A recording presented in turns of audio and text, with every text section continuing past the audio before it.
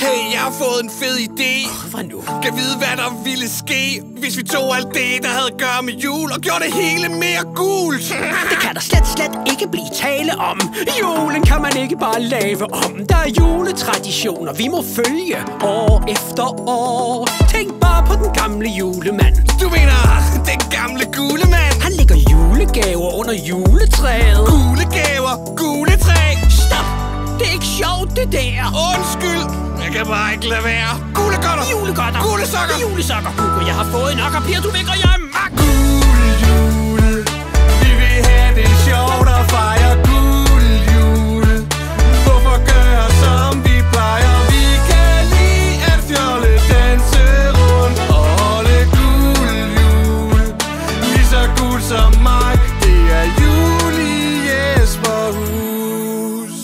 Så er det godt de juleleg. Det hedder gulelej. Vel gør det ej. Vi bærer gule bag og spiser gule kage Anden gule dag Hvis jeg lige Vi holder- åbner gule kalender og spiser gule ender Og holder gulebal i Hugoland med vores venner Yeah. Der er gule mad på vores gule bord Og jeg så gule, men en kys af din mor Bland min mor helt uden om dit julepjat. Jeg, jeg mener gulepjat. Jeg mener... Åh, bakkers!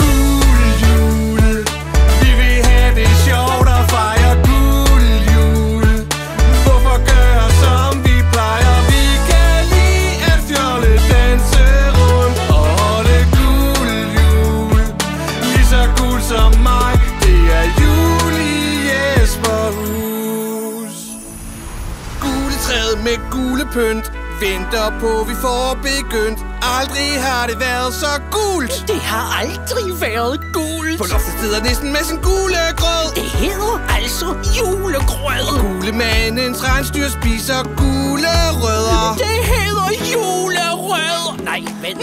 Åh. Dr. Træls, der fik jeg dig